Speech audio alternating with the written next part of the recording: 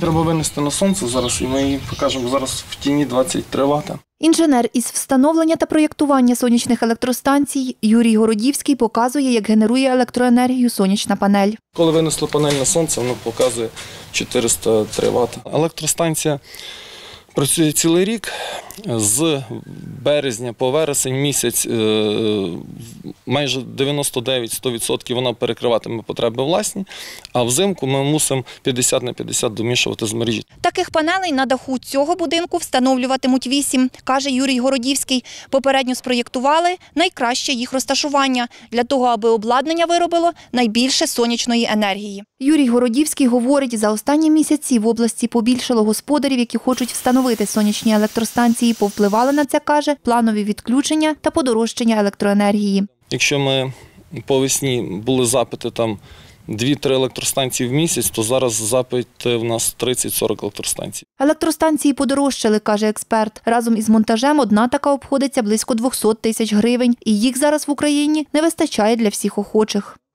На даний час подорожчання е, спостерігається, але спостерігається не наявність обладнання. Зараз попит е, ну, набагато більше, ніж планувався, і обладнання просто деякого обладнання просто фізично немає.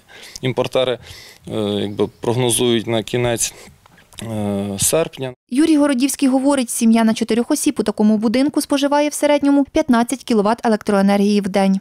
Ці фотомодулі по розрахунку на протязі сонячного дня влітку згенерують е, приблизно 40 кВт електроенергії за, за сонячний день.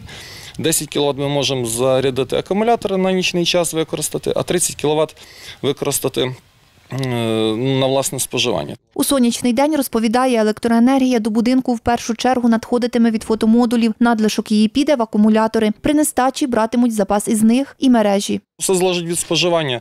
Там, якщо ми говоримо про світло, це там 300-500 Вт, телевізор, е, холодильник, кіловат. Тобто це в сонячний день е, його вистачить е, ну, з головою. А якщо ми говоримо за нічний час, вже інвертор буде підбирати з акумуляторів. Менеджер одного із хмельницьких ресторанів Олександр розповідає, минулого тижня встановили в закладі сонячну електростанцію на 90 панелей, насамперед задля економії коштів. Наразі тариф близько 10 гривень. Е, В день ми споживаємо приблизно 400-500 кВт електроенергії, тобто десь до 5 тисяч гривень. Після встановлення сонячної електростанції ми витрачаємо вдвічі, втричі менше. Юрій Городівський говорить, встановлене обладнання налаштовується під різні типи роботи. Першочергова електрика, яка генерується сонцем, направляється на споживання. Потім надлишок цієї електрики ми е, заряджаємо акуму- акумулятори на вечірній час.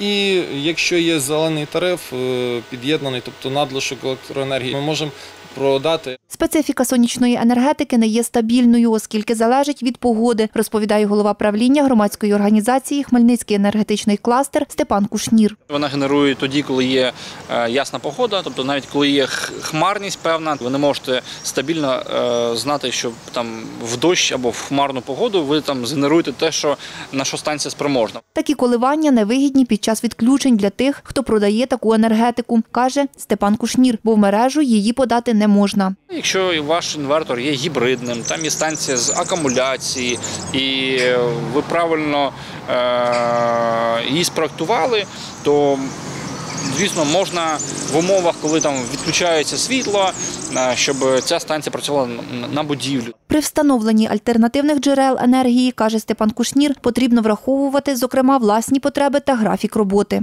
Якщо вам треба споживання вночі, наприклад, а ви хочете станцію е, в- ну, поставити станцію і ну, вона буде генерувати в день, це не є логічним. Е, І завжди ви маєте також враховувати те, що і для сонячних там станцій, і для вітрових, і для там будь-яких інших станцій є певні вимоги. За словами Степана Кушніра, сонячні станції для бізнесу можуть окупитися протягом чотирьох років, для населення удвічі довше. Вікторія Мельник, Віктор Кривий, Суспільне новини, Хмельницький.